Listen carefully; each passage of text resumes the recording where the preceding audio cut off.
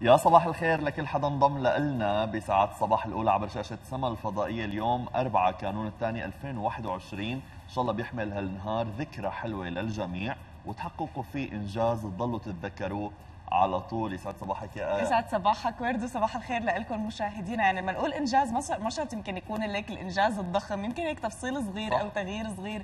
بنهارنا ممكن عن جد يعطينا شوية سعادة نتعلم طبخة جديدة مثلا مع الشيف سناء. صح يا شيف؟ يسعد صباحك يسعد صباحك. صباح الخير يا شيف. يسعد صباحك ورد. شو عاملين اليوم؟ اليوم عندنا برجر.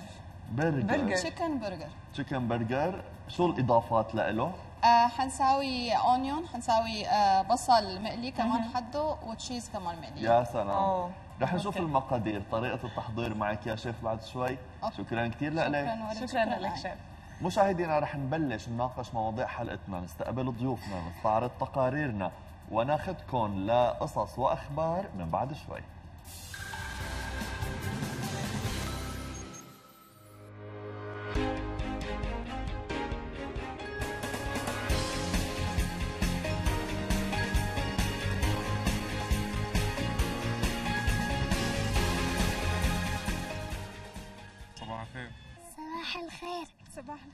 صباح الخير. صباح الخير.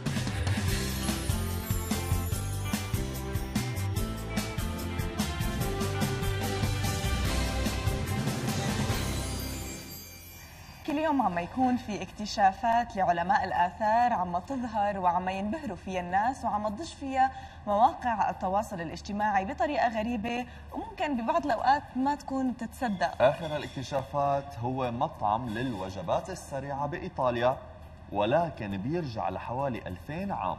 تفاصيل أكثر منتابعها سوا بهالتقرير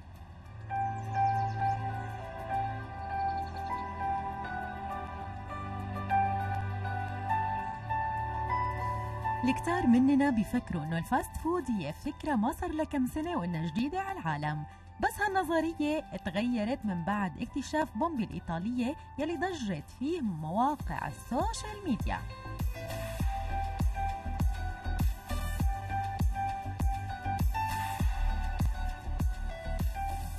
مدينة بومبي الإيطالية تعرضت لثوران بركان فيزوف من حوالي 2000 عام ودفنت المدينة تحت طبقة سميكة من الرماد البركاني فأعطى صورة دقيقة عن حياة سكانها وجعل مصدر غني للاكتشافات. ومن ضمن هي الاكتشافات وبعد البحث تم العثور من قبل علماء الآثار على مطعم عتيق يسمى ترومبوليوم من العصر الروماني ومختص بالوجبات السريعة. اكتشفوا فيه مناضد أثرية مزينة بلوحات جدارية وألوان زاهية وكمان بقايا طعام ببعض الجرار العميقة يلي تم استخدامها لأعداد الأطباق والمشروبات الساخنة.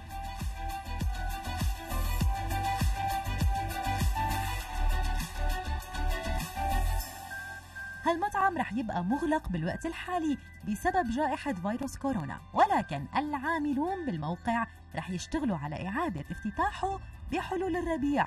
ولو زرتوا المكان رح تتفرجوا على آثاره وما تفكروا بطعم أكلاته.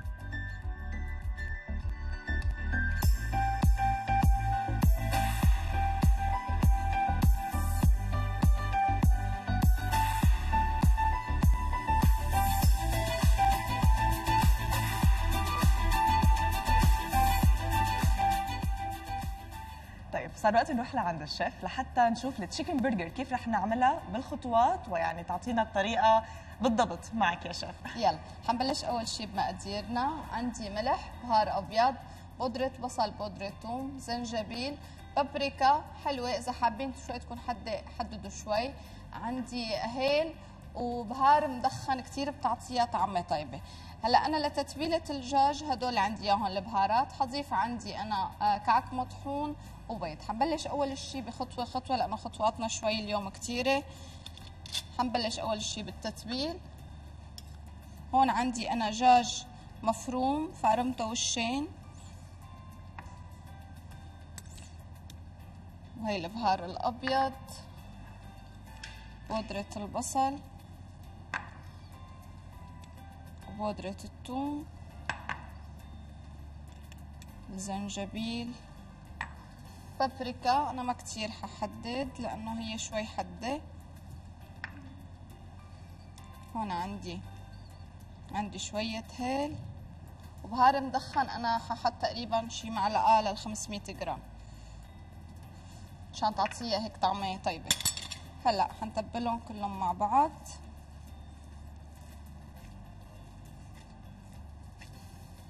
هلأ شو اللي حيمسكها لل... للبرجر هون؟ حيمسكها هي البيض. أنا بدها تعطيني طراوة وبعدين بيرجع الكعك بيرجع بيمسكها كلها بشدها مع بعض. إذا لقيت أنا عندي الدجاج منه مدهن يعني منا منه منزلين معه دهن ممكن أنا أضيف شوية زيت أو شوية زبدة. نضيف البيضة.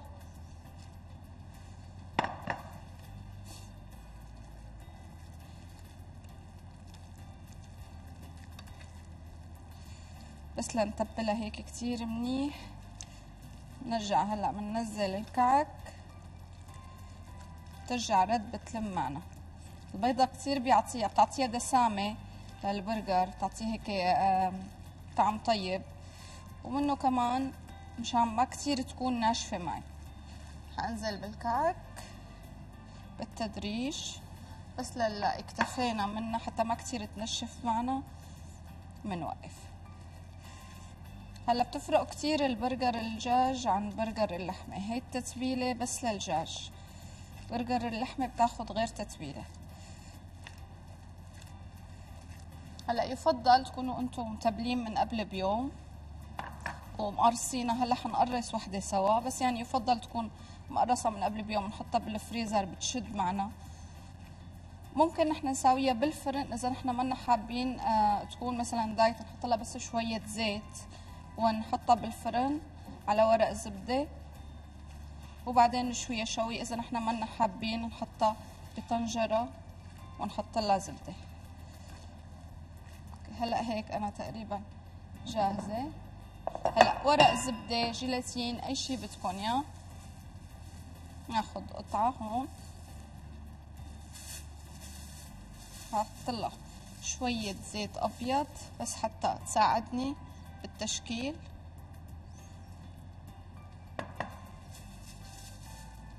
وهون أنا عندي كتر على قد البرجر الموجودة عندي. بس أنا ححاول إنه تاخد الشكل المدور. هو في قالب بالسوق للبرجر. بس إذا ما كان متواجد عنا تقريبا القطع بحدود ال 75 لل 100 جرام. هيك بس حتى تاخد عندي هذا الشكل المدور نحاول وقت اللي أنا بدي اشويها ما أضغط عليها لأنه كل شيء جوسي بقلب منها وقت بتضغطوا عليها هيك بالمقلاية كل شيء بيطلع. فاحاول أنا ما كثير أضغط عليها. حنبلش نقلي وحدة هون عندي شوية زبدة شوية زيت. حاول هيك شكلها تكون كثير منيحة. لهيك طلعت القطعة اللي عندي.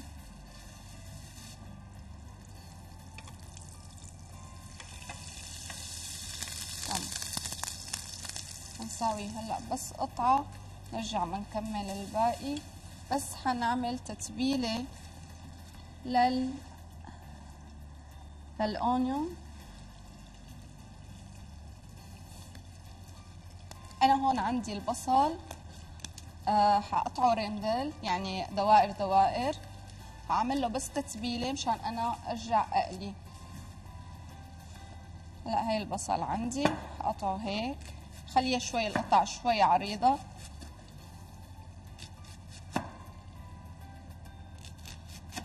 وبعدين شو بعمل؟ بجيب زبدية حاول إنه أنا فرفطهم شوي عن بعض. أنا بدي هدول القطع الكبيرة أكتر شي. وبعدين حتبلهم. هلا بدهم نعقة يفضل إنه ينعقوا قبل بوقت. بشو حانقع أنا حانقع بحليب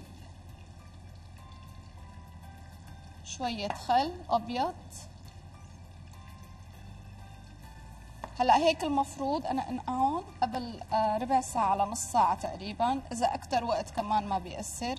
بس ليخلص هيك عندي تتبيلة البني اللي هي آه، طحين. وكعك وبيض أنا حتبلهم هلأ بس شوي قدامكم. هنتبل ملح.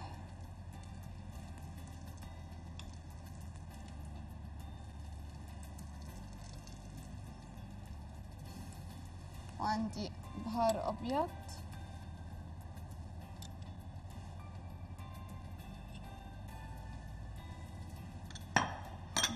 البصل وبودرة الثوم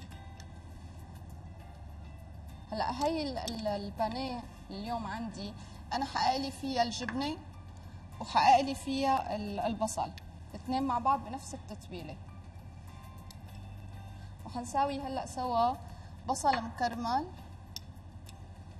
شوية زنجبيل وهيك خالصة. هلأ حأتركهم هدول لينقوا حنساوي مع بعض البصل وبعدين بنرجع بقلي كل شيء عنا. لل... للبصل أنا مقطعه بصل هون تقريبا تقريبا بصلتين. حاول خليهم هيك مثل ما هن قطع بعدين حط شوية زبدة شوية زيت. شيل هاد لأنه هذا أسرع. شوف قطعة البرجر شو صار فيه عنا. تمام صارت منيحة نقلبها شايفين لونها شلون ما أحلى. حاول قد ما فينا هيك ناخد المواد الدهنية. هلأ عندي بس تذوب الزبدة والزيت تماما. حأنزل بصل. حاول خليهم هيك مثل ما هن قطع. هدول ححطهم بقلب البرجر.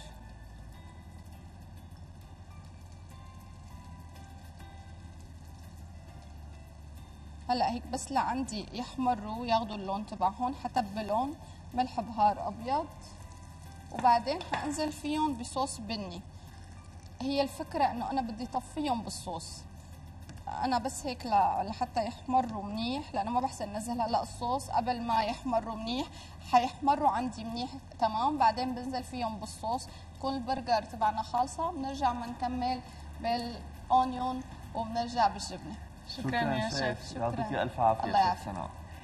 الحب من أجمل المشاعر يلي بتخلق بين الرجل والمرأة ولما بتبدأ أو من لما بتبدأ هي المشاعر ما بيقدر الشخص يمكن يخبيها بتشترك المشاعر بيناتهم بالكثير من الصفات مثل الاهتمام الغيرة الإخلاص وغيرها من الأمور اللي ممكن تكون مشتركة مشتركة لهلا عم نحكي عن يكون مشتركة. م- مختلفة تمام. رغم وجود الكثير من الصفات المشتركة مثل ما قالت آية في فرق بالحب بين الرجل والمرأة سواء في الدماغ أو التفكير أو حتى في طريقة الحياة ككل.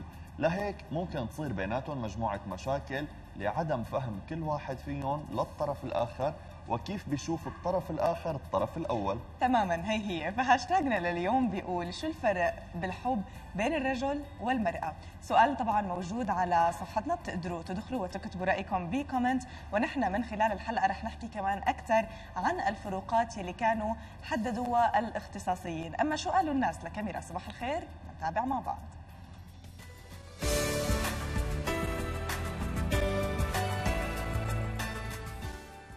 مرة بتحبني مدللة ياخذها مشاوير يهتم فيها والرجل كمان نفس الشيء يعني بدهم يهتم فيه يحسسه بالحنان يحسسه الاهتمام. كله بيكذب ما في حدا صريح.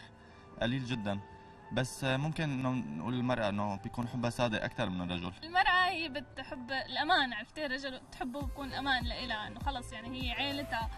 مستقبل حياتها أمانة. الرجل يعني رح ياخذ المرأة كأنها هي إنه تصون يعني في إنه هو يأمن بالمرأة تصون عيلته تصون يعني إنه مستقبل أولاده ومستقبل عيلته يعني. الحقيقة الاثنين إذا حبوا الاثنين بيوفوا. اختلاف الحب بين الرجل والمرأة حسب طبيعة تكوين الم... الإنسان. آه في ناس حنونة في ناس قاسية في ناس ما بتعبر عن الحب. بتكون بتحب كتير كتير بس ما بتعبر.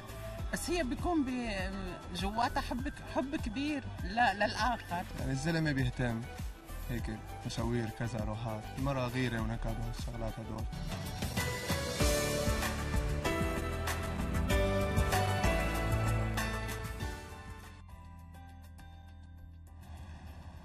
يسعد اوقاتكم عن جديد. أربعة كانون الثاني من كل عام يصادف اليوم العالمي للغة برايل ويوافق هذا التاريخ يوم ميلاد لويس برايل عام 1809 واللي هو مخترع الكتابة بطريقة برايل وسميت على اسمه تكريما له طبعا أكيد برايل أحدثت أو أحدث ثورة هو أكيد كان بحياة فاقدي وضعاف البصر باختراعه لنظام القراءة والكتابة يلي بيعتمد على فكرة الست نقاط البارزة ست نقاط بارزة رح نستعرضهم بعد شوي أكيد صحيح.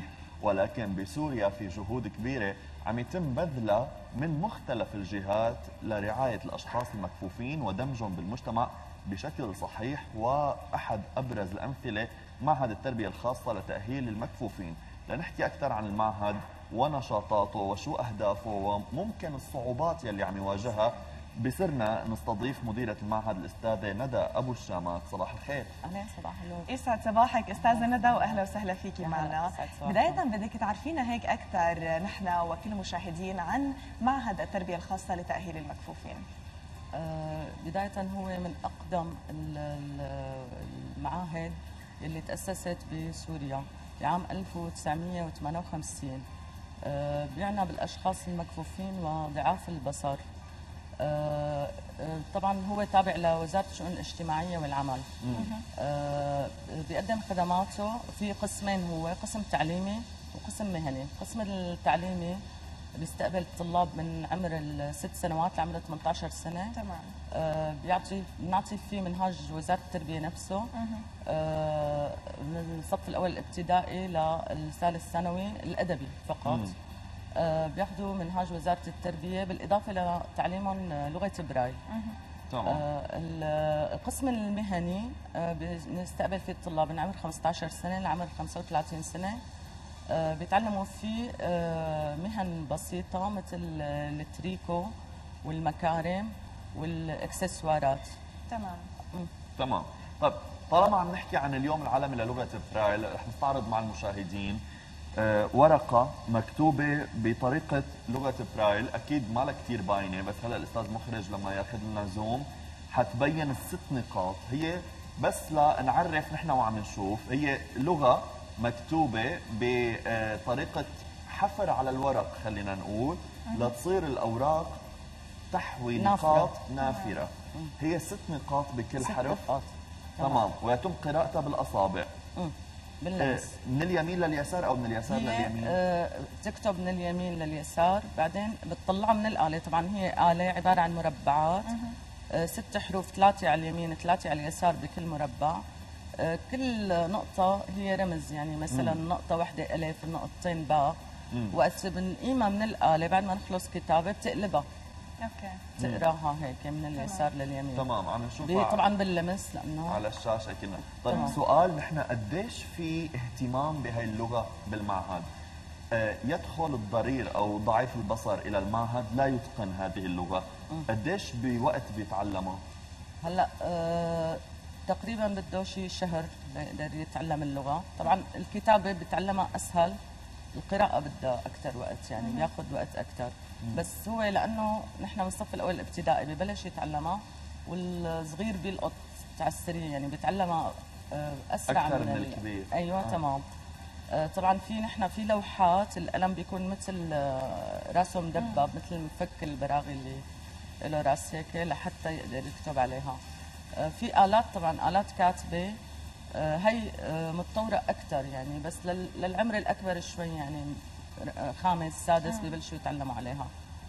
آه هي بتساعده أكثر باعتبار هي أسهل. هو مثل الآلة الكاتبة بس هي عم تطبع بحروف نافرة. أوكي. إيه.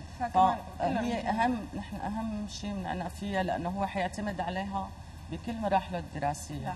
لاحقا تماما. بس نحن فينا نقول إنه لغة برايل اليوم عم يتم استخدامها خلينا نقول بالمعهد أو يعني إنه هي الطريقة موجودة بكل المنهاج يعني عم يتم تطبيقها مع كل شيء مواد بيتم تدريسها مثلا للأطفال خلينا نقول لا هلأ أكيد هذا الشيء هلأ نحن قسم الطباعة طريقه برايل آه، أحدث يعني تقريبا بنهاية العام الماضي. آه، في عندنا آلات آه، طباعة متطورة. بس بدك تطبعي منهاج دراسي بده يكون عندك إجباري بطريقة ال Word. طريقة ال Word لازم نحصل عليها من آه، وزارة التربية. آه هن ما في عندهم PDF لأنه أنت الآلة الطباعة تبع برايل لازم يكون ما بتاخذ إلا نظام ال Word. تمام. فهلا نحن عم نتفق معهم مشان يسلمونا النسخ بصيغه النسخ Word الأصلية دون ال تمام. آه، إن شاء الله. يعني بتوقع إنه ببدايه العام القادم يكون الكتب الدراسية بإيد قد إيه الطلاب ممكن يسهل هذا الشيء من العملية التعليمية وقد إيه ممكن يعني يسهل خلينا نقول أكثر على على الطلاب نفسهم يعني اللي آه، عم يدرسوا يتعلموا. إذا هن يعني كان منهاجهم خلينا نقول كله بلغة برايل كثير يعني هن كل اعتمادا شلون أنت مثلا طالب مبصر عم يدرس بدون كتاب. تمام. بدون شيء. يعني فلما بيكون بين ايديه آه، المنهاج بت- بطريقة برايل أكيد حيكون أسهل وأحسن له.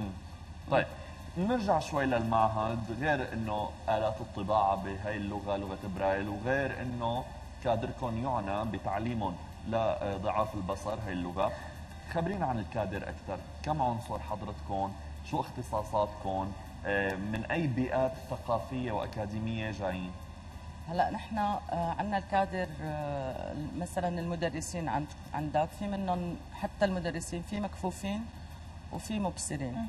آه، هن آه، طبعا خبراء في مجال لغة برايل هن أساسا أغلبهم كان طلاب بالمعهد ودخلوا جامعة وصاروا أساتذة بالمعهد. حلو.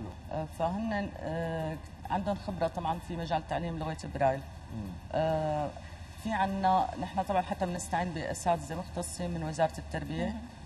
آه، في عنا آه، أخصائيين نفسيين واجتماعيين وتربويين.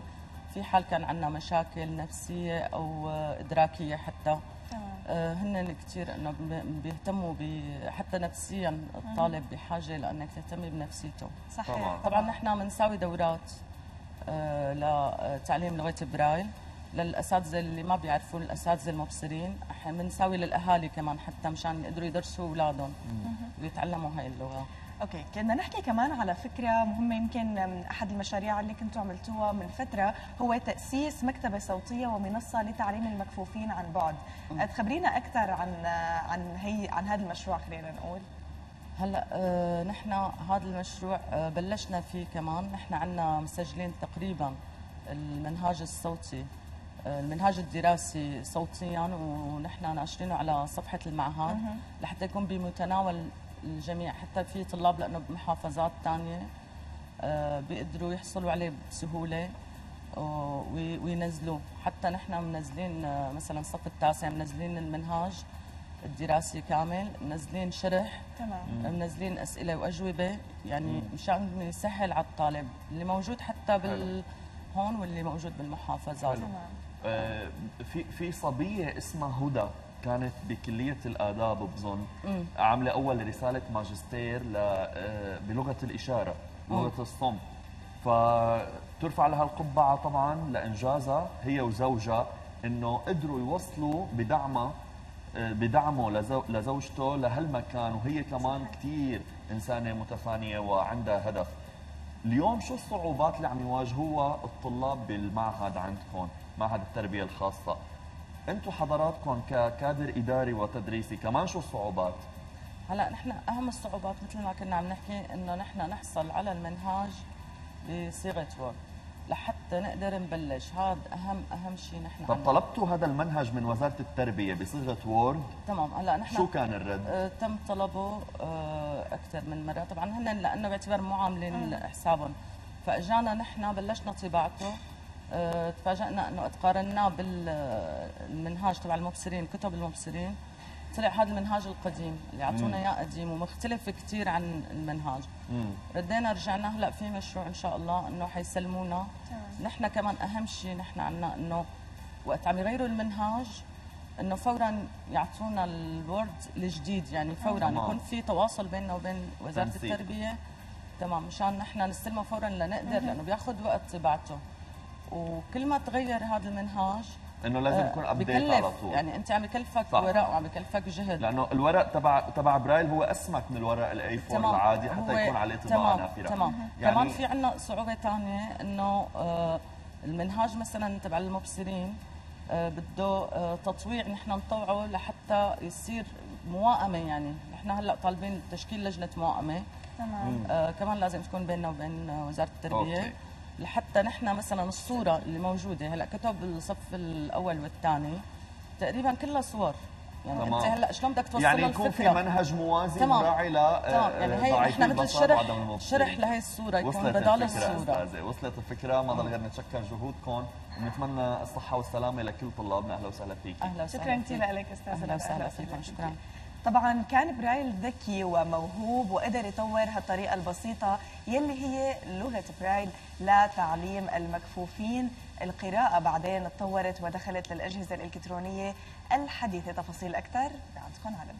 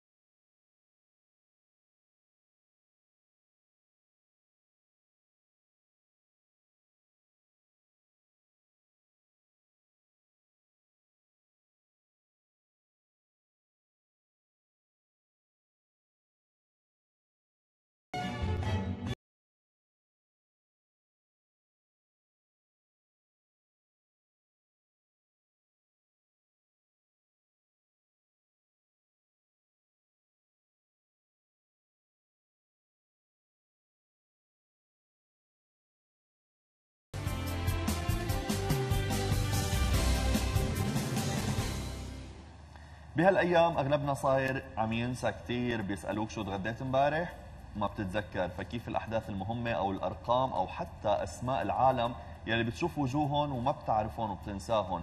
هالأمر كأنه متعلق بالذاكرة بس يا ترى مين ذاكرته أقوى الرجل أم المرأة؟ الجواب بتقرير باتريسيا غنام.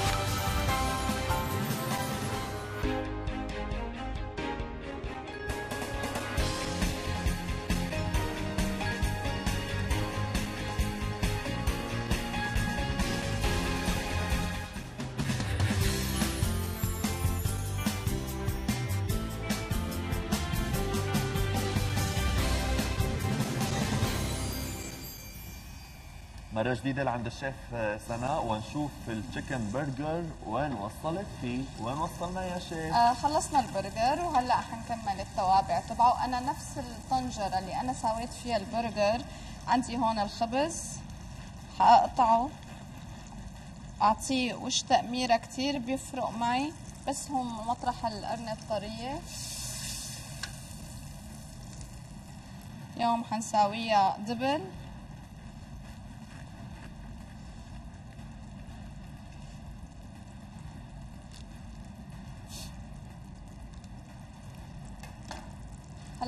حنساوي نحن عنا البطاطا اليوم اللي حنساويها حنساويها شعيرات. أنا هون عندي بطاطاية بس حنساوي وحدة مع بعض.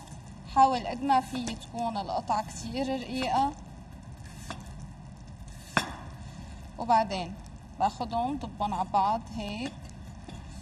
حاول ساويهم شعيرات كتير رقيقة. لهي من باب التغيير تبع البطاطا. ممكن نساوي ويدجز ممكن نساوي بطاطا عادية آه، بسلقها نص سلقة. وبعدين برجع بقليها قليتين.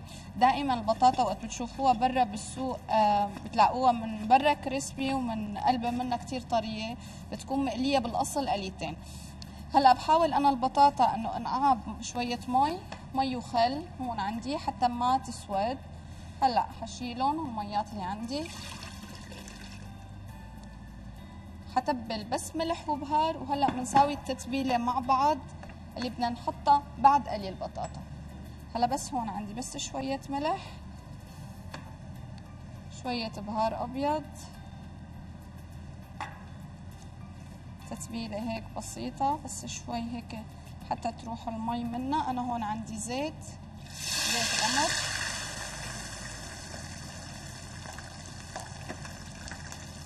تمام هلا شو التتبيلة اللي أنا بدي اتبل فيها البطاطا؟ بس تطلع. عندي هي الطنجره هي البوله عفوا. ححط شوية ملح صغيرة حط بهار مدخن. عندي هون اوريجانو فلفل أسود شوي صغيرة ما كثير تكتروا وعندي بزر كزبرة. وبهار توم. هدول أنا هيك حاعمل لهم ميكس مع بعضهم. بس لتطلع عندي البطاطا بتكون بعدها سخنه بحاول رش عليها بس لا تطلع. هلأ أنا هون عندي البصل اللي نحن نقعناه بالحليب والخل.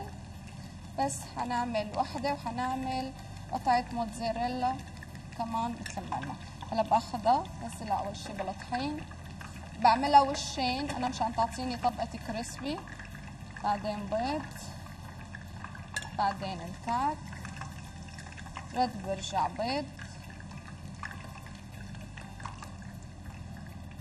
رد برجع كعك مرة تانية هلا هيك تقريبا هاي قطعتنا خالصة هون عندي أنا جبنة موتزاريلا ما بدها اي تتبيل أنا متبلة هون بالاصل عندي الطحين شوية طحين بيض وبعدين كعك ونفس الشي برجع رد بيض. بس مشان تعطيني طبقة طبقة غلاف سميكة حتى عندي الجبنة ما تطلع برات القلي تمام هلا هيك خالصين. حنخلصهم كلياتهم ونقليهم. وحنحشي نحن عنا البرجر بالبصل اللي تبلناه وعندنا مايونيز وشوية مخلل كتير صغير مع الكاتشب. وهيك هلا تقريبا بنكون خالصين. نرجع لكم بس نخلص شيف سؤال قبل ما نرجع. شيف في كثير يمكن السيدات اللي خاصة اللي بيكونوا يمكن بيشتغلوا برا البيت فبتلاقيهم بدهم شيء سهل. فما بعرف في كثير ناس بيحطوا برجر يمكن التتبيله نفسها اللي نحن بنعملها فينا نخلصها ونحطهم بالفريزر إمتى ما بدنا. مثل ما هي بنشيلها دغري ودغري وبنعملها يعني. الموضوع سهل. الموضوع كثير سهل. هي منيحة. الموظفات خاصة. تماما. بيطبخوا بالعطلة وبحطوا بالفريزر. وقت اللي بيرجعوا من الشغل بيطلعوا وبيطبخوا شكرا يا شيف سناء يعطيك العافيه يعني مشاهدينا بيختلف الرجل عن المرأة. بطريقة تعبيره عن الحب. المرأة بتكون واضحة أكثر بالتعبير بعكس الرجل يلي بيوصفوه بأنه بيكون أقل تعبيرا. هذا الشيء بينتج عنه مجموعة فروقات بين الرجل والمرأة بالحب. بالإضافة لفروقات ثانية بترجع يمكن بالنهاية لطبيعة كل حدا فيهم ويا آية حدد الخبراء خبراء علم النفس والاجتماع مجموعة فروقات. بين الرجل والمرأة بالحب وأرجعوها لاختلافات طبيعة كل حدا منهم ورح نجمعهم بخمس أو ست نقاط ونخبركم عنهم. النقطة الأولى الرجل يقع في الحب أسرع من النساء لكنه أقل التزاما بالحب ويلتزم بشكل أبطأ. بالمراحل الأولى من الحب بيقول الرجل لقيت المرأة يلي عم دور عليها من زمان ومع الوقت بتصير هالمرأة واثقة أكثر بالعلاقة وهون ببلش الرجل يشكك حول هالعلاقة إذا كانت هذا هو الحب الوحيد يلي عم يبحث عنه بحياته أو لا لأنه بيحتاج لوقت أطول للالتزام بالحياة مقارنة مع النساء. النقطة الثانية الرجال يبادرون بالتعبير عن مشاعرهم للنساء وطبعا هالقاعدة ليست ثابتة. لأنه المرأة ممكن تبادر بالتعبير عن مشاعرها وهالشيء ممكن يضمن لها الاقتران بشريك حياة بيناسبها أكثر. النقطة الثالثة للرجال والنساء احتياجات مختلفة. معظم الرجال بيحتاجوا بمرحلة من مراحل علاقتهم لمساحة شخصية مع شريكتهم. النساء ما بتتفهم هالموضوع وما بتتفهم هالاحتياج بمعظم الأوقات وبيظنوا إنه الرجل بيتقصد يخفي عنهم شيء معين. بس هالحاجة ناتجة عن القدرات المختلفة للألفة بين النساء والرجال. النساء قادرات على تقارب عاطفي أعمق ومستمر بينما بيحتاج الرجل إلى الانفصال أو الانسحاب قليلا حتى يقدر يستمر بالعلاقة. النقطة الرابعة الفرق في التعبير عن الحب. المرأة تعشق من أذنها. هاي المقولة يعني بتحب تسمع كلام حلو فبتهتم بشخصية الرجل وأفكاره أكثر من شكله وقراراتها بتكون عاطفية إجمالا وبتحب معرفة كل ما يقوم به الرجل خلال يومه. أما الرجال فهن عكس النساء تماما فهن أكثر عقلانية وإنه تعبيرهم عن الحب بيكون أقسى نوعا ما. فعلى الرغم إنهم بيحاولوا يلمحوا لنسائهم أكثر عن حبهم من خلال اهتمامهم وغيرتهم اللي ممكن تسيطر عليهم لكن الرجال ما بيحكوا كل الشغلات يلي بقلبهم. النقطة الخامسة تتميز المرأة بحساسيتها الشديدة في الحب وتأثرها بكل كلمة سلبية تقال من حبيبها. بالإضافة لعدم قدرتها على حبس دموعها أو مشاعرها الخاصة بلحظات معينة بعكس الرجل يلي بيميل أكثر إلى المنطق والعقلانية. فلذلك منلخص كلامنا الرجال من المريخ والنساء, والنساء من من الزهرة, الزهرة. هذا الكتاب يلي حقق أعلى مبيعات حول العالم. ولليوم اللي بيقروه ما بيقدروا يتيقنوا 100% إنه فعلا في فرق بين بين الجنسين. تمام بس أنت متخيل ورد إذا نحن عن جد قدرنا هي الفروقات أو كل حدا فينا قد العلاقات رح تكون تماما آه. صحية والعلاقات رح تستمر؟ لأنه نحن دائما بنطلب الشخص المقابل يكون يعبر بنفس يمكن الطريقة اللي نحن بنعبر فيها وهذا الشيء مستحيل, مستحيل يصير يعني. مستحيل تماما. ولكن ما اخشاه يا آية إنه تتحول هالفروقات لحجة. إنه بدك تتحملني أنا أنا آه. مرأة أنا حساسة. إيه تماما. إيه بدك تتحملني أنا مرأة أنا مرأة أنا عندي مشاعر وعواطف. آه. أو هو بيقول لها بدك تتحمليني أنا ما بعبر آه. ليس مبرر. يعني نوصل لنقطة مشتركة. إيه تماما 100% طبعا خلونا نروح لبعض تعليقاتكم على موضوع حلقتنا كيف بيختلف الحب بين الرجل والمرأة. منتابعهم مع بعض بهالمادة.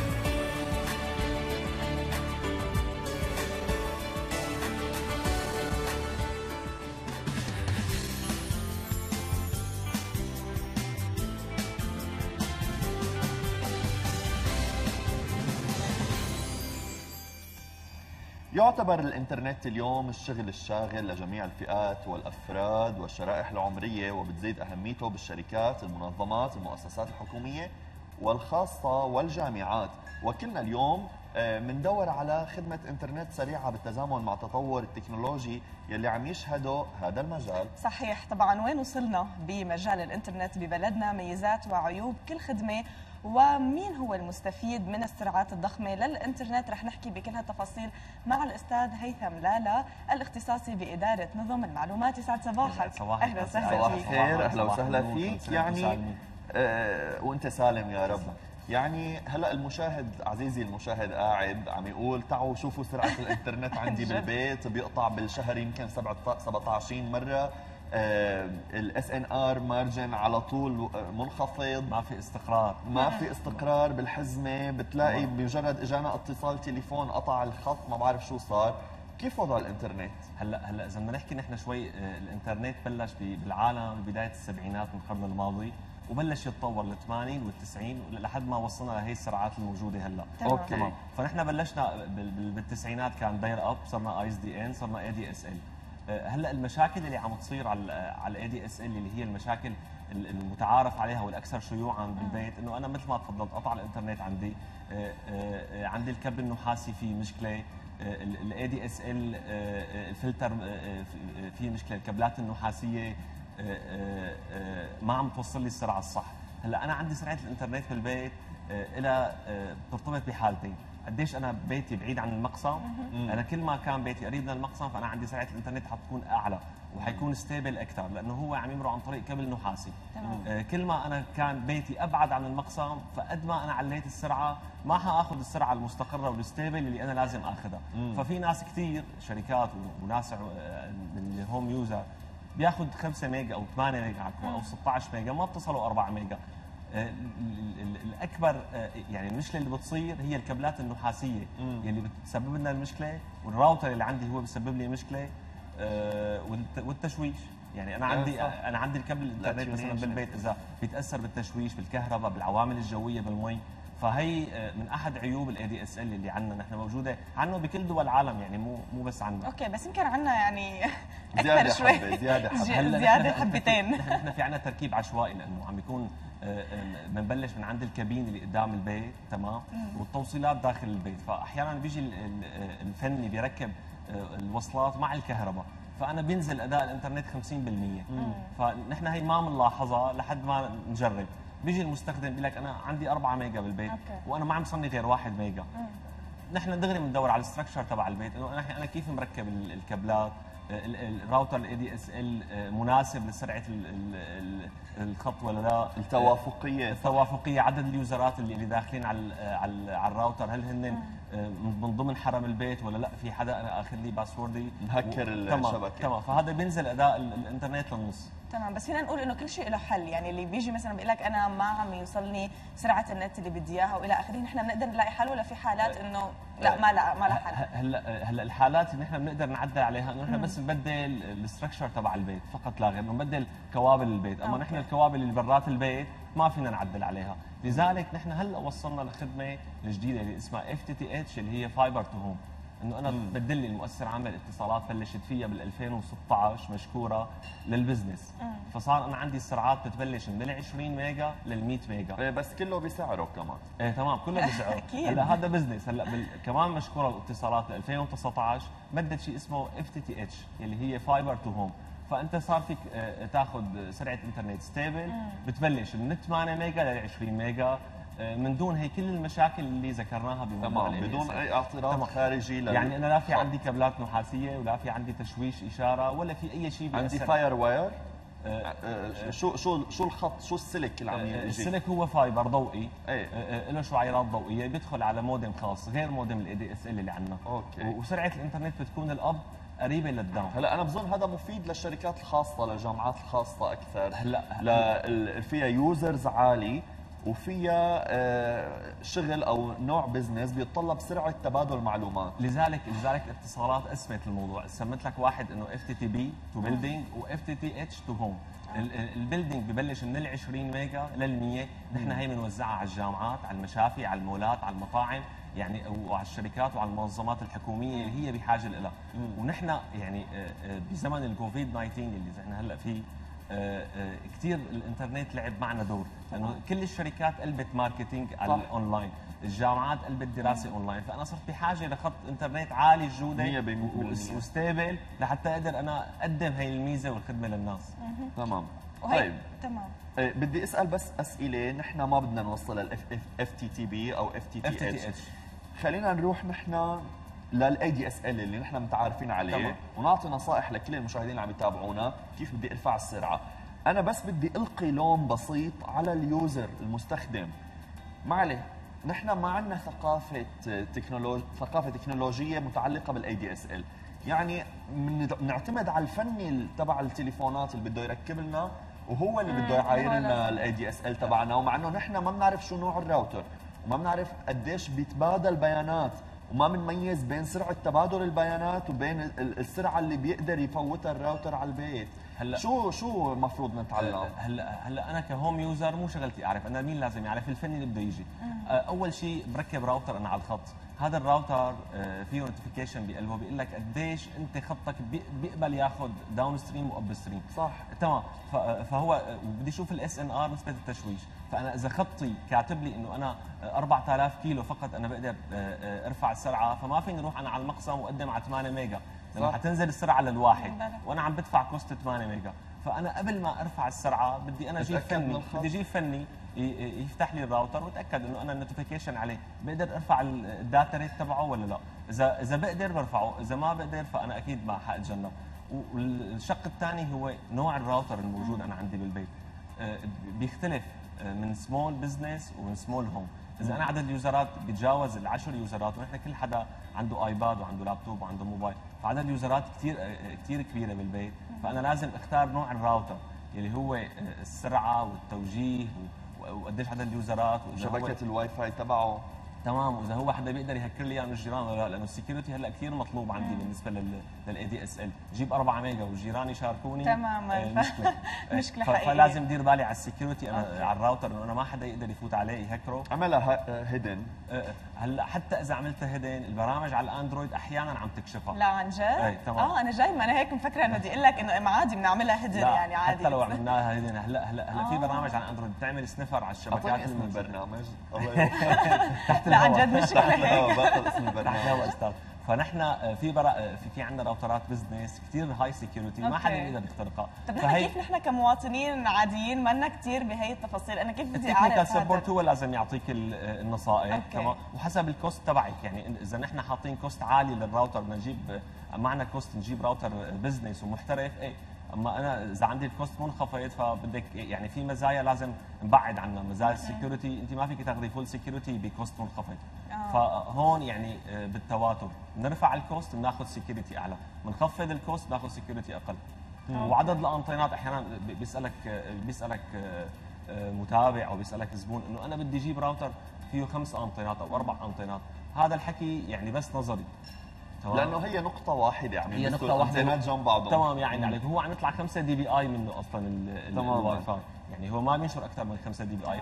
فأنا بنصح المشاهدين إنه اللي بده ينزل يشتري راوتر وأنا بيتي 100 متر ما في داعي يجيب خمس انطينات أنا انطين أو انطينين كافي إنه آه، يستوعب. بس ناخذ عدد ال user ات الموجودين. نعم. يعني وقت بيكون عندنا اثنين user غير بيكون أنا 20 user بالبيت تمام. okay.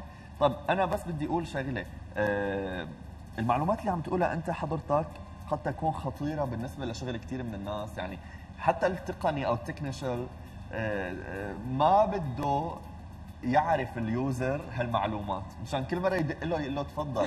فنحن برنامجنا صباح الخير بنحاول نعطي ولو معلومات بسيطة بس ممكن تكون مفيدة لكثير من الناس. هلا هلا المعلومات البسيطة لأي user لازم يعرفها؟ إنه أنا كبل الهاتف ما لازم يكون مارق مع خط كهرباء عندي واصل لبيتي. الفلتر لازم يكون راكب قد ال ADSL هي معلومة كثير واضحة لأنه أنا إذا الفلتر ماله راكب أي اتصال بيجرى بالبيت فبيقطع عندي خط الإنترنت.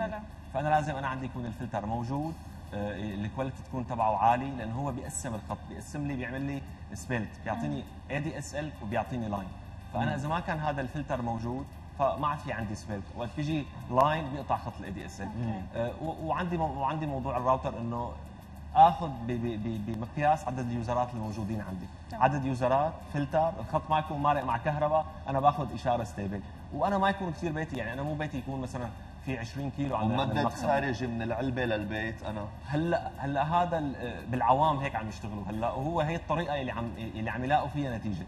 تمام. لذلك وقت رحنا على على الألياف الضوئية أنت بعدت عن كل هالمشاكل. okay. بعدت عن كل هالمشاكل وما عاد في عندك انت كابلات نحاسية كابل ضوئي فايت على بيتك. تمام. يعني أستاذ هيثم ما ضل غير نتشكرك شكرا كثير لوجودك معنا واهلا وسهلا فيك دائما وحديثك هيك دائما ممتع. وشكرا على كل المعلومات اللي خبرت معنا شكرا. كثير لك يا أستاذ. بكل سنة مشاهدينا. بيظهر عنا مجموعة من التطبيقات الجديدة وحتى ممكن تطبيقات قديمة تاخذ صدى أكبر بسبب استخدامها والفائدة يلي تركها كل تطبيق طبعا. أفضل تطبيقات ال 2020 نتعرف عليه هون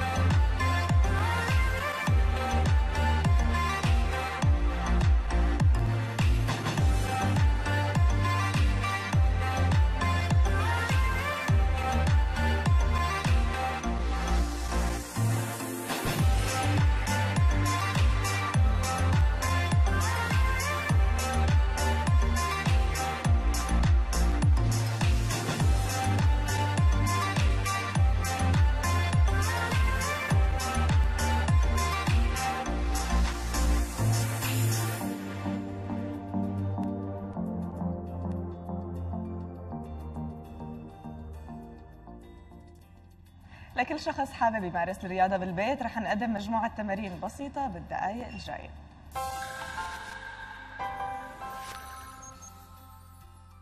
يسعد صباحكم معكم ال coach مينار من ابتع sport academy اليوم حناخذ مجموعة تمارين لحتى نتخلص من الخفسه اللي بيعانوا منها أغلب البنات. ولكن بدنا نكون ضمن الصورة الأساسية اللي هي إنه جميع البنات عندهم خفسه ومستحيل إنه إحنا نتخلص منها بشكل كامل بدون عمليات تجميلية. رح بلش أنا دغري بأول تمرين. رح ناخذ side lunges على جنب. حنطلع لفوق نرفع رجلي زاوية 90 again side lunges لفوق. عم باخذ رجلي لورا على الجنب اليسار. ثلاثة. أربعة. طبعا ما ننسى نحمي قبل ما نبدأ تمرين. الجري بمكاننا حيكون كافي.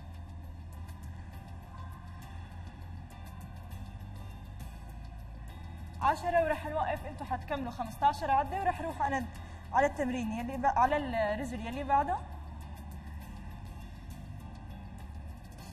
ننجز على جنب نطلع لفوق نرجع ننزل.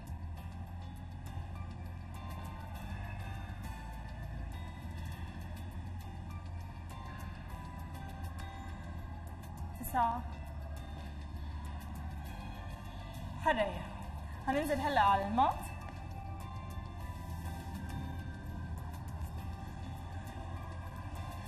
من هون حناخد على جنب. حنمد رجلينا الاثنين رح أرفع رجلي لفوق زاوية 90 رح مد. سكر وأرجع أنزل اجين اذا زاوية 90 مد رجلي. سكر زاوية 90 اجين وبنزل.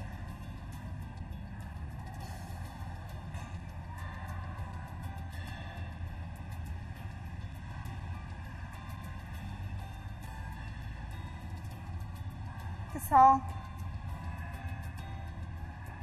عشرة. بنريح هقلب على الطرف الثاني.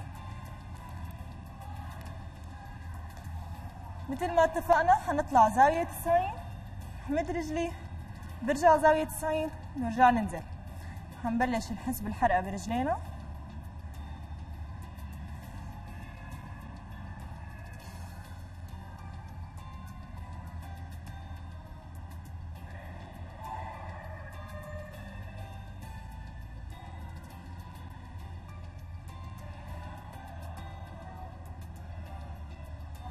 Last one.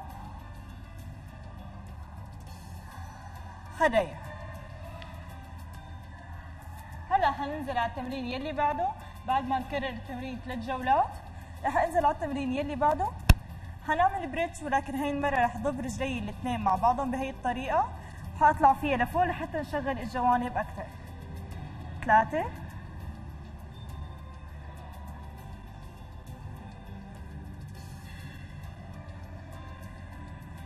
بنثبت فوق بننزل بشكل بطيء لتحت.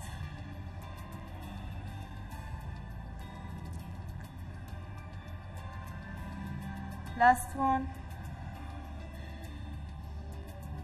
حرية.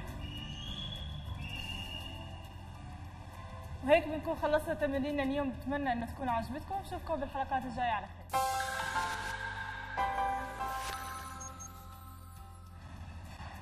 يسعد أوقاتكم مرة ثانية. ضمن فقرتنا لليوم رح نحكي عن هرمون مهم ومسؤول عن تنظيم الصحة الجنسية والإنجابية والقلب والعظام عند النساء وعند الرجال أيضا ولكن بكميات أقل. عم نحكي عن هرمون الإستروجين. طبعا هذا الهرمون مثله مثل أي هرمون ثاني خربطته أو نقصه رح يتسبب بمشاكل وأضرار. لهيك ضيفتنا اليوم اختصاصية التغذية الدكتورة نور صبار رح تخبرنا أكثر عنه وعن أسباب نقصه وأهم المصادر الغذائية يلي بيتواجد فيها. يسعد صباحك. يسعد صباحك. صباح الخير لك نور. أهلا وسهلا فيكي. آه، بالبداية شو يعني إستروجين وشو يعني إستروجين نباتي وشو أهميته للجسم؟ الاستروجين هو هرمون بالنسبة لنا هو هرمون من الهرمونات اللي موجودة بالجسم مثل التستوستيرون والبروجستيرون هو موجود عند النساء وعند الرجال حتى. okay. طبعا هلأ بالنسبة لنا هرمون الاستروجين بالنسبة للنساء فهو مهم.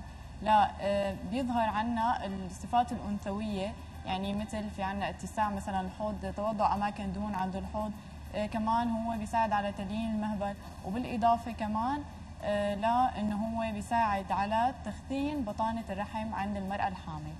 وطبعا نحن آه، بالنسبة للرجال كمان هو ضروري بس طبعا في عنا أضرار سواء كان ارتفاعه أو حتى نقصه بالنسبة للنساء حتى بالنسبة للرجال بيعمل كثير مشاكل. أما بالنسبة للأستروجين النباتي فهو آه، ما ما بيتصنع من الجسم لأنه الأستروجين هو بيتصنع من الجسم من الغدة الكظرية ومن المبايض. أما بالنسبة للأستروجين النباتي فهو موجود اوريدي بالعناصر الغذائية يعني الأطعمة الغذائية اللي نحن بناخذها تمام. نور خلينا نحكي أكثر عن الأعراض اللي يمكن بتحدد إنه نحن في عنا نقص لهذا الهرمون بجسمنا وهل هي بتظهر بمرحلة عمرية محددة يعني أو معينة؟ هلأ آه، لما يصير في عنا نقص أو ارتفاع طبعا في عنا أعراض بتبلش بتظهر. إذا كان عندنا الصبية بالنسبة لها صار في عندها نقص بالإستروجين فهو بيظهر عندها الأشعار أكثر بصير في عندها بدانة بطنية. إذا كانت هي قطعت عمر تقريبا بين ال 45 ل 53 أو 50 هذا الشيء بيعتمد على هي سن البلوغ عندها. يعني إذا هي كانت في عندها بلوغ مبكر فهو بتصير في عندها انقطاع بالطمث مبكر. أما بالحالات هي بالحالات الطبيعية. أما بالحالات المرضية فحتى ممكن قبل حتى يصير في عندنا نقص بالإستروجين عند الصبية وبصير في عندنا مشكلة مشاكل بالدورة. حتى إذا كان في عندنا آه، بالنسبة للرجال ارتفاع بهرمون الإستروجين فممكن يسبب العقم تمام. بسبب ضعف جنسي ممكن يسبب تثدي ببعض الأحيان. تمام. ممكن ظهور صفات أنثوية عند الرجل. طيب شو الأطعمة النباتية يلي بتحوي الأستروجين؟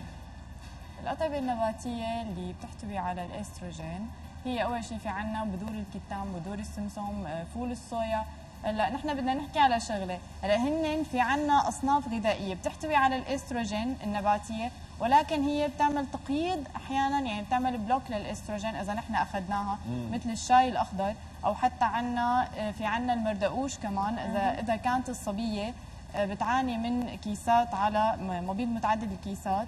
فهي اذا إذا أخذت المردقوش كثير بيساعدها على التحكم ب بهذا الموضوع بالنسبة للأستروجين أو حتى بالدورة الشهرية. لأنه بنلاحظ بصير في عندها خربطة بالدورة الشهرية. كمان في عندنا الثوم بيحتوي على الأستروجين وبالإضافة للحمص حتى كمان بيحتوي على الأستروجين والتفاح وحتى الفيتامين سي الأصناف الفواكه يعني مثل البردقان اليوسفي الكيوي الفلفله الحمراء. بشكل عام الأستروجين موجود كثير بشكل كبير بأغذيتنا إذا كانت صحية. الحبوب الكاملة حتى يعني مثل مثلا خبز الخالي أو حتى الرز الأسمر فكمان بيحتوي على الأستروجين. يعني بيرفع من هرمون الأستروجين بالجسم. ولكن عندنا مثلا كمان الرمان. المفروض نحن وقت يكون في عنا آه، ارتفاع بالأستروجين ناخذ رمان وشاي أخضر. أما بالنسبة للنقص فنحن نبعد عنه. okay. نور في شيء نظام غذائي معين نحن ممكن نتبعه؟ خلينا نقول لدعم الأستروجين النباتي بجسمنا يعني نظام كامل هيك متكامل. هلأ طبعا أكيد نحن lifestyle إذا كان صحي بشكل عام يعني نحن محافظين على غذائنا محافظين على وجباتنا ونكون نحن قد ما فينا مبعدين عن الحلويات الدسم والتدخين. آه، شرب الكحول بكمية كثير كبيرة هذا الشيء كله بيلعب دور إنه إحنا يصير في عندنا خلل أوه. بالهرمونات. بغض النظر عن لسه في عندنا كثير طبعا side effect على الجسم بتكون هي موجودة. فنحن لازم يكون في عندنا تمارين رياضية ال stress القلق التوتر الحالة النفسية الصعبة كلياتها بتلعب دور بتخفيض من هرمون الأستروجين. لأنه بصير في عنا آه، نحن لما كثير نعرض لضغط بجسمنا فبينعكس دائما على جسمنا بأشياء كثير تكون ممكن سلبية علينا لقدام تماما. هي بنرجع بنقول الهرمونات هارموني تشتغل بالجسم. ارتفاع نسبة هرمون بيعمل block لهرمون ثاني أو بخفض نسبته. طيب شو الأمور يلي نحن بننصح فيها الأشخاص اللي آه، ما بي ما بيتناولوا نباتات كثير يعني في ناس بيقول لك أنا ما بحب آكل خضار كثير أو في نوع معين من الخضار هو ما له صحبة معه. فشو البدائل؟ يعني مثلا أنت ذكرتي الحمص ذكرتي آه، أنواع عديدة من الخضار والفواكه ولكن الأطفال خاصة البنوتات الصغار المراهقات بعمر 10 ل 12 سنة مثلا اليافعات كيف ممكن نشجعهم على تناول الخضار؟ هلأ نحن لما بنقول على الخضار بشكل عام أو حتى عن مثلا مثل حكينا على الحمص أو حتى منتجات الحبه الكاملة فنحن مو بالضرورة إنه نحطها مثل ما هي. يعني ممكن ندخلها بأي صنف غذائي بطريقة غير مباشرة بنضبطها تبطين تمام لحتى هن يرغبوا أكثر ويصيروا يحبوا أكثر إنه هن ياخذوا هي الأصناف. يعني مثلا هلأ الحمص مثل المسبحة مثلا إنه فينا نحن نعطيها الصبية لأنه هي بتحتوي على الإستروجين. يعني آه، دائما نحن بدنا نحاول إنه ندخل عن طريق ممكن شوربات أو ممكن نعمل كوكتيلات ندخل. ممكن ناخذ عصائر مثل بردقان نحطه عصير رمان نحطه عصير. هي بالنسبة للفواكه. فنحن بدنا نحاول قد ما فينا ندخل هاي الأصناف الغذائية حتى لو ما كانت بطريقة مباشرة. مم. يعني بطريقة معينة ممكن مع صنف ثاني ممكن نساويها بطريقة م... إنه بطريقة نحن بنحبها. بنشوف هي الصبية شو بتحب. ننتبه مثلا إنه هي بتحب مثلا الشوربات بتحب العصائر. يعني نحن بدنا نحاول نركز تمام نركز على هي التفاصيل لأنه كثير مهمة لأنه نحن ما بيهمنا إنه نحن نفرض فرض الموضوع بيهمنا إنه هي تكون كثير مرتاحة وكثير مقتنعة بهذا الموضوع. صح. بالنسبة كمان لفول الصويا من المكسرات كمان فينا ندخلها كثير مفيدة للصبايا وبشكل عام هي مفيدة. تمام. نور خلينا نحكي بحالة مثلا عندنا حالة لشخص أو لصبية مثلا عندها نقص خلينا نقول حاد يمكن بهرمون الأستروجين. إمتى نحن بنقول هون فينا نعالج هذا النقص بموضوع نحن نعتمد نمط غذائي معين نركز على أغذية معينة اللي كنت ذكرتيه؟ إمتى بنقول لا نحن هون يمكن بحاجة تدخل دوائي يمكن أو يعني طبي يكون أكثر هلا الأعراض بشكل لما بتظهر بشكل كثير متفاقم كثير كبير يعني طبعا أكيد بدنا يكون في عنا مراجعة طبية حتما. مم. يعني ما بصير إنه أنا أعتمد بس على الغذاء. فيني أعتمد على الغذاء؟ نحن ما بننكر بس هذا الموضوع ممكن يكون مساعد. ضروري جدا استشارة طبيب مختص في حال وجود أعراض واضحة مثل ما حكينا شعرانية كثير كبيرة. آه، صار في عنا بنلاحظ بدانة بطنية. بالنسبة لل بس بدنا نحكي على شغلة المرأة قبل عمر انقطاع الطمث. في شيء إنه نحن ما لازم إنه كثير نلجأ للأستروجين عن طريق الأدوية السبلمنتس مثلا أو ناخذها شيء خارجي. هون لا المفروض إنه تاخذها عن طريق التغذية. الأفضل بالنسبة لها لأنه هي طبيعة الجسم هي هيك. يعني نحن هون ما في عنا حالة مرضية ما في عنا عمر مثلا أنت عم تعملي. شيء غير طبيعي لما عم تاخذي استعاضة من supplement تمام هي هي الفكرة. إنه نحن ما بصير ندخل استروجين وأنا جسم هي جسم المرأة عم ينزل أستروجين عندها فلا المفروض نعطيه عن طريق التغذية لحتى نحن هي تستفاد مزبوط أما قبل لا بده يكون في علاج دوائي مع آه، النظام الغذائي الصحي. تمام. ما ضل غير نتشكر كثير لوجودك معنا نور. أهلا وسهلا فيك ونتمنى الصحة والسلامة للجميع. شكرا كثير لك. شكرا كثير لك نور. أهلا أهلا وسهلا وسهلا فيكي شكرا. الكثير مننا بيعتقدوا بأنه السعادة مرتبطة بأكل الشوكولا والمأكولات السريعة بس الدراسات العلمية أثبتت العكس. تفاصيل أكثر بهالتقرير.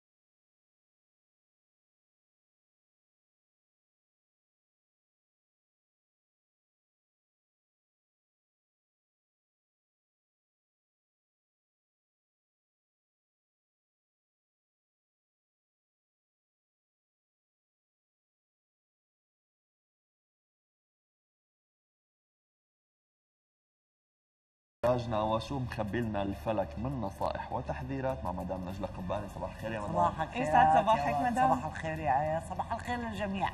ضلوا بخير أيامكم سعيدة مرتاحين ومبسوطين. اليوم آه، أربعة كانون الثاني تمنياتي الجميع بالخير. طبعا كواكبنا ما زالت في أماكنها. زهرة في برج القوس عطارد إلى جانب الشمس في برج الجدي المريخ في برج القوس. هو الكوكبين هدول رح يتغيروا هلأ بقى يومين سواء المريخ رح يدخل هلا هو لساته بالحمل رح يدخل على برج الثور والزهرة في القوس ستدخل إلى برج الجدي إضافة إلى وجود المشتري آه، إلى جانب زحل اثنيناتهم في برج الدلو. أول أخباري لعزيزنا مولود برج الحمل اللي اليوم مشغول بمئة ألف قصة غير شغله اللي هو أصلا ضروري. اليوم شغله هو أهم ضرورة بالنسبة له والحقيقة الأيام هاي متعبة. فيها شغل كتير فيها تحمل مسؤوليات إضافية. فيها حدا عم يركض وراك إنه بسرعة بسرعة بسرعة خلص لي شغلي بسرعة أو إنه الأمور هاي لازمة أو ضرورية أو لازم إنها تنعمل. والمشكلة أنت ما كتير لك خلق اليوم يعني اليوم يوم الأفأفة العالمي. ما لك كثير خلق على الشغل ولا ولست من النوع اللي بيطلب مساعدات.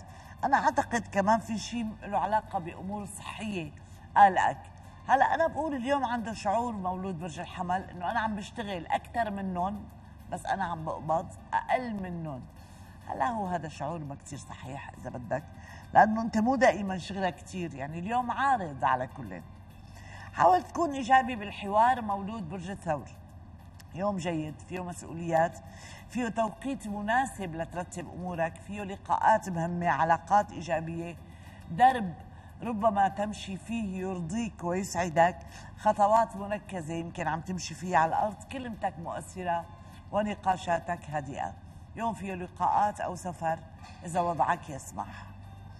مولود برج ال- مولود برج الجوزاء اليوم أنت اللي متعب أو قلقان أو عندك صراعات لا تلزمك.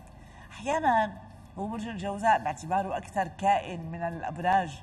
يعني بحب الجدال بحب الأخذ والعطاء. فاليوم بالذات يوم ممكن أنك تدخل جدالات ما لها كثير معنى. خلص بقدر أخصمها بكلمتين. أنت لا عم تاخذ وتعطي كأنك يعني قلقان من شي قصة بدك تشرحها وجهة نظرك للآخرين. كأنه شوي في حواليك وعود كاذبة مثل كأنه ورقة ضايعة مثل كأنه قصة ما عم تزبط. يعني كل واحد حسب وضعه بس اليوم في نوع من أنواع الحواجز. ممكن ابتداء من المساء من بكرة الصبح تخلص أمورك. يعني عموما كلما تقدم النهار كل ما أمورك أفضل. مولود برج الجوزاء. مولود السرطان يرمي الحركه للنشاط للعلاقات العامة للتواصل للأهل للشقيقات للأسرة لناس أنت بتحبهم أصدقاء زوجة. يعني هدول الناس القراب منك اليوم أنت قريب منهم محب لهم مبسوط معهم مشغول معهم. نازل على سوق رايح على مؤسسة حكومية. يعني اليوم الأمور أخذت طابع إيجابي وخاصة على موضوع النصائح. اللي اليوم ممكن يكون يعني إيجابي وجيد لكل الأطراف اللي حواليك. برج الأسد كمان إيجابي لكن لازم ينتبه على أموره المالية. غالبا عم بيناقش ببعض الأمور المالية وشغله كأنه نشط عم بيعمل قصة جديدة عم بيزور ناس جدد عم بيشوف ناس صار له زمان ما شافهم وعم بيناقش بعض الأمور المالية المهمة. المهمة على مستوى بعيد المدى عموما. عم تحصل حقوقك عم عم تاخذ مساعدات أو عندك نوع من أنواع ترتيب الشؤون المالية. بالمجمل تذكر أنه في بكرة يعني حساب حساب لبكرة وليس فقط لليوم. عزيزنا مولود برج العذراء اليوم عم بيعيد ترتيب هيكلية حياته سواء بشكله بقراراته بعلاقاته. أحد الأيام الإيجابية اللي عم تتصاعد فيها وتيرة النشاط غالبا أنت مستعجل في عندك أمور عم تشتغل عليها واليوم فعليا يوم إيجابي للأصدقاء للأهل لتستفيد من محبة الناس لك مولود برج العذراء أنت مبتسم وترفض التعب. اليوم ما تنصح غيرك نصائح أنت نفسك ما بتعملها مولود برج الميزان. اليوم يوم فيه نوع من أنواع العتب أو الكسل أو فقدان الطاقة أو حاول تحذر إثارة نزاعات مع ناس حواليك. باعتبار اليوم ضايق خلقك. ممكن تصعد خلافات ممكن يكون في عندك تعطيل لأمورك. ما أنا كثير مرتاح اليوم ميزان كأنه حاس حاله عم يتخبط بمفرده كأنه ما في مساعدات. لاحظ إنه ما في شيء سيء. أنت اليوم مزودها بس شوي. عزيزنا مولود برج العقرب يوم اجتماعي بامتياز. للأخبار للتفاؤل اللي ممكن ترافقك لاستقبال ضيوف ليكون حواليك دعوات أو إعجاب أو إيجابيات. العلاقة باعتماد على الآخرين عموما. نوع من أنواع الفرح المشترك بينك وبين قصة عائلية بينك وبين شريك شخصي. يعني اليوم الأمور جيدة فيه تفاؤل بهجة تواصل مع المحيط والأهم سفر إذا وضعك يسمح. عزيزنا مولود برج القوس أنت أكثرنا تعبا الحقيقة. اليوم أكثر حدا متعب هو مولود برج القوس. حواليه نوع من أنواع الانتقادات اللي أحيانا جارحة. يعني أحيانا في ناس كلمتهم شوي هيك العلاقه بإنه صريحة أكثر مما يجب أو لا تراعي شعور الآخرين. اليوم حواليك ناس من هذا النوع. التوتر عم يتراكم. مولود برج القوس شوي شوي لدرجة إنه ممكن يعلى صوتك لدرجة إنه ممكن يكون ذهنك شوي مشوش. أصدقاء مو كثير مريحهم أنت نوع من أنواع سوء الظن ويمكن يكون بدون مبرر يمكن. مولود برج الجدي اليوم يوم جيد بالنسبة لك الأوساط حواليك مؤيدة وداعمة ومشجعة وغالبا في مساحة لتتحكم بحرية لحتى ترتب أمورك بطريقة إيجابية. يوم فيه لقاءات أو خبر أو فرص أو تعاون مع محيطك أو استفادة من حظوظك الحقيقة في دعم اليوم للجدي غير محدود. مولود برج الدلو اليوم مؤسستك يعني تحتاجك غالبا. يعني عم تعاود ال- السيطرة على أمورك عم بتقرب من ناس أنت بتحبهم. الحظوظ مساعدة لخطوات ناجحة عم تتصرف بديناميكية. يوم فيه خيارات عملية أو شخصية وغالبا اليوم لمفارق جديدة. أعمل هيك ولا أعمل هيك؟ بظن على كل رأيك سديد اليوم بالذات بس يعني لا يمنع أنك تستشير فيما لو أنه فعلا عندك نوع من أنواع الخيارات. تأجيل أو تأخير أو بعض المضايقات لمولود برج الحوت. صار له يومين مكركب مولود برج الحوت لازم يقرب من من أموره الشخصية لازم يصالح الناس اللي بيحبهم ضايق خلقه اليوم عم بيغير أفكاره عم يغضب من هفوات صغيرة ربما عم بتضايقه بعض الاستفزازات ربما. يعني حاول تحذر التسرع لأنه غالبا في تراجع. ربما صحي وربما عائلي. هلا بالمجمل برج الحوت طوال السنة تقريبا ما كتير الأريح على الصعيد العائلي. الأكثر بخلا مولود اليوم اللي بنقول له كل عام وأنت بخير. هي هاي الكلمة بت- بتضايقه اللي مولود برج الجدي لأنه دائما هو بيحاول يثبت إنه أنا لا ماني بخيل. أنا حدا يعني بعطي عائلتي كل احتياجاتها وهذا الكلام صحيح. أنا ما قلت عليه لا أبدا. بس المشكلة إنه يعني بخيل للحقيقة حتى بتصرفاته يعني هو حدا تصرفاته حنينة قريبة من الآخرين بس ما بيعرف كتير يعبر عن نفسه. مو من جماعة الصبح بحبك المساء بحبك لا ما من هدول. يعني بيقول لك إياها براس سنة إذا قال مرة بكون يعني فضل علينا عموما مولود أربعة. شخص فعليا ناقد ساخر يعمل بصمت يدخر أمواله بصمت يستغل نقاط ضعف الآخرين بذكاء. عموما هو شديد الذكاء محب للروتين يتمسك بالتقاليد وبيحب العمل. 24 ساعة بيشتغل ما عنده مشكلة. خاصة أنه هو شديد الصبر والطموح عموما هادي محتشم كلامه موزون. سنة بالنسبة له سنة كتير مهمة على الأقل المشتري يتقدم في برج آه، يعني برج الدلو هو بيت المال بالنسبة له لذلك وارد أنه يكون عندك سفر أو نتائج إيجابية أو قصة العلاقة بخطبة بارتباط بتغيير عقار. أنا بشوفه داخل على سنة جيدة. الطبعة أو البصمة الأساسية فيها هي الأمور المالية اللي ممكن تكون إيجابية جدا.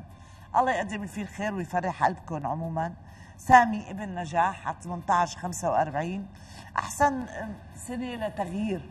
سنة ما أنا معتادة سامي. فيها تغيير تغيير عائلي تغيير بالأماكن تغيير بسبب سفر ما بعرف. بس أنت تبعد عن الناس أو تبعد عن الناس وتقترب من ناس جدد. عم بتغير شيء بحياتك جذريا تقريبا. فاطمة 2000 عم تسألني مع علاء إحدى العلاقات الجيدة. عموما يا فاطمة بس المشكلة أنت حدا يعني كتير حاطط حدود يعني حدا هذا بيصير هذا ما بيصير هذا لازم هذا مو لازم هذا صح هذا غلط. متعبة الحياة معك والله كتير متعبة. هو من الأشخاص اللي بيتصرفوا على كيفهم تبعون تبعون البركة. يعني أنا بتصرف على البركة والأمور ماشية حالها. هلأ فاطمة إذا بدك تضلي هيك بالحياة معه والله الحياة صعبة هيك بهي الطريقة حبيبتي. هيا بنت غالية من مواليد 2003 جامعية. هلا إذا عم نحكي دراسيا فلا تمتلكي أي حظوظ يا غالية. أنا أعتذر بس ما فيكي تعتمدي على حظوظك. فيكي تعتمدي على دراستك لأنه أصلا الخامس سادس سابع الأمور فيها هي الفترات الدراسية ما أنا كثير أريح والحياة تامن كمان. لذلك أنا بقول ما فيكي تعتمدي السنة على حظك في الدراسة. بدك تعتمدي على جهدك تحضري كل محاضراتك وتراجعي كل دروسك. وتحاولي تلحقي أول بأول لما تراكمي الكتب خاصة الكتب الجامعية محرزة. يخزي العين مو كتاب صغير ترجعي تراجعيه بخمس دقائق يسعد صباحكم وتضلوا دائما بخير. وتضلي دائما بخير. شكرا كثير لك شكرا كثير لك يا مدام. آه، شكرا جزيلا. لعند الشيف فورا لحتى نشوف البرجر بشكله النهائي. كيف قدمناه؟ آه خلصنا البرجر البصل والجبنة البطاطا وقدمنا معها مرافق مايونيز وكاتشب وخردل وصحتين وهنا. صحتين وهنا. فطورنا اليوم برجر ورد. إيه، فطورنا برجر. شكرا كثير لك يا شيف. إيه، مشاهدينا هذا كان كل شيء بحلقتنا لليوم. نلقاكم بكرة على 9:30 فكونوا على الموعد. تبقوا بألف خير